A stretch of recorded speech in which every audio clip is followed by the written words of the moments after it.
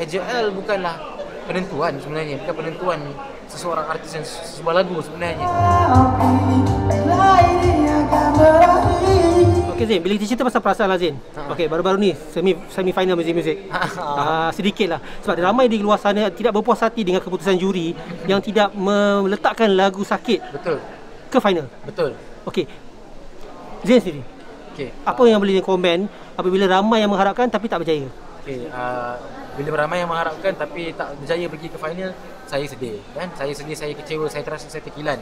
Bila harapan uh, diberikan terlampau tinggi kan? Bila harapan terlampau tinggi oleh netizen-netizen semua yang berharapkan lagu sakit untuk pergi ke AJL tapi tak pergi saya kecewa di mana mereka tu datang ke jumpa saya. Bukan jumpa lah tapi datang bagi tahu kan? Teks kita di Instagram bagi tahu uh, keluarga dia orang pun dengar lagu kita dan mengharapkan lagu kita pergi ke AJL ada yang undi ber, ber, berkali-kali Mhm. nak lagu tu ke AJL uh, tapi itulah sebab bila saya fikir balik kan mereka tak faham di mana kerja kita mereka tak faham pula kerja yang di sana Mhm. kan mungkin saya pun sendiri tak faham kerja sebagai juri so, saya tak pernah menjadi juri AJL Mhm. atau muzik-muzik jadi mereka ada kerja mereka dan itu bidang mereka diorang sendiri ada pemakahan mereka jadi seperti mana yang dipetik oleh kata-kata juri dia Ketul. kata lagu sakit bukanlah lagu yang lagu untuk ditandingkan Ya, dia lagu lebih popular. pada lagu popular. Dia lebih lagu popular apa yang saya boleh cakap ialah uh, uh, kita tak faham sebab kita bukan berada di tempat dia.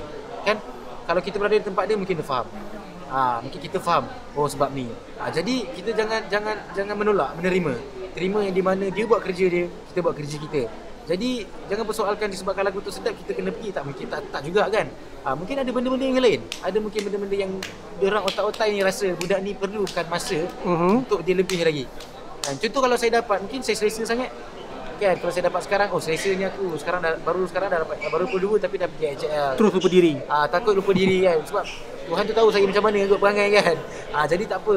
Kau tak dapat kau jalan lagi jauh lagi perjalanan kau. Saya saya anggap benda tu macam tu lah. Tapi Zain lebih menerima. Lebih menerima. Sempat betul. berhubung dengan Yoni tak mengenai benda yang sama? Apa apa Yoni ada bagi tahu tak perasaan dia bila lagu tu tak terima dan sedangkan ramai yang mem- meminta lagu tu masuk? Ah, kita ada perasaan yang sama sebenarnya. Saya dengan ini kita ada perasaan yang sama. Jadi kita banyak sedih because of harapan yang diberi itu je.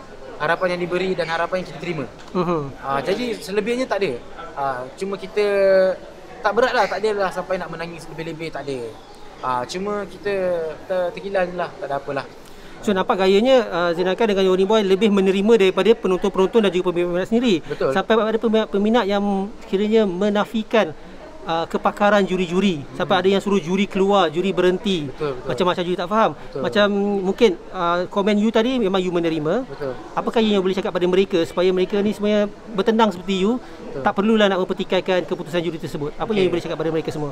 Ah, bagi saya ah, tak apa, kita macam tadi kita terima and ah, belajar terima, belajar menerima, belajar menerima apa yang kita apa yang kita apa yang kita kena Uh-huh.